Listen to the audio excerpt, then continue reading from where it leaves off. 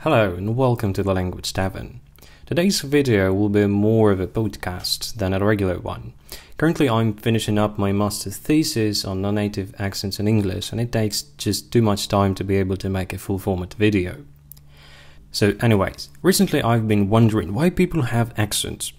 In our native languages, we're usually able to hear if someone is speaking with an accent, be it a foreign accent or a native regional variety, but for some reason, people seem to be having hard times reproducing accents other than their native one. And while I was doing my research, I came across an interesting term phonological sieve.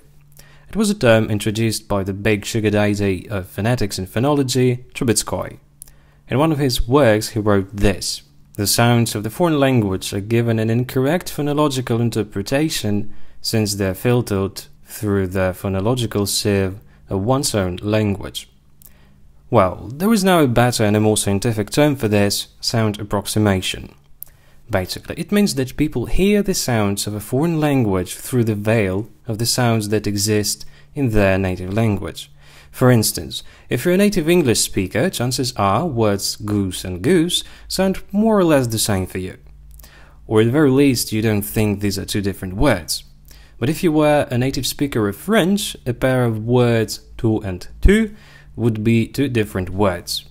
What I mean by this, uh, that in English there is no phonemic distinction between o and e. These are just allophones of a single sound. While in other languages these two sounds may create a minimal pair. And when learning, say, French, this distinction might be your weak spot for quite some time. Another good example would be the difference between kit and fleece vowels in English. For a native speaker or a proficient speaker, the difference is clear. On the other hand, we have Russian, which doesn't differentiate between these two vowels, even though the kit vowel exists as an allophone of e, like in the words internet, where the initial vowel is often produced the same way as the English kit vowel. Nevertheless, Russian speakers don't even realize they have it, and when learning English, Russian speakers have troubles hearing and even more so producing the kit vowel, as they don't really think of it as something different from regular E. Now, it leads us to the next point. What if I hear the difference, but I can't imitate it? If you ever had such a thought in your mind, then there is an answer. The thing is that we learn to speak in the so called critical period. It is roughly the age between 2 and 7 years. During this time, our facial muscles learn to catch a specific number of sounds that are relevant for our own native language and reproduce it. When you grow up not using other facial muscles, they simply become weaker as they are not really used that much.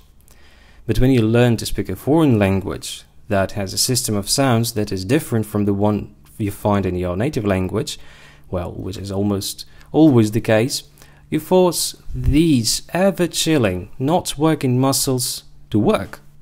Just remember the last time you did that knee triceps exercise for the first time. You might have never realized you have those muscles. Well, to sum this up, learning a different set of sounds requires hard, long, and regular training to make these muscles grow and get used to the new positions they might have never taken before.